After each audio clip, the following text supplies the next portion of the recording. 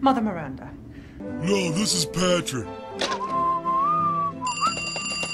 I regret to inform you that Ethan Winters has escaped that fool Heisenberg. No, this is Patrick. I won't let you down. No, this is Patrick.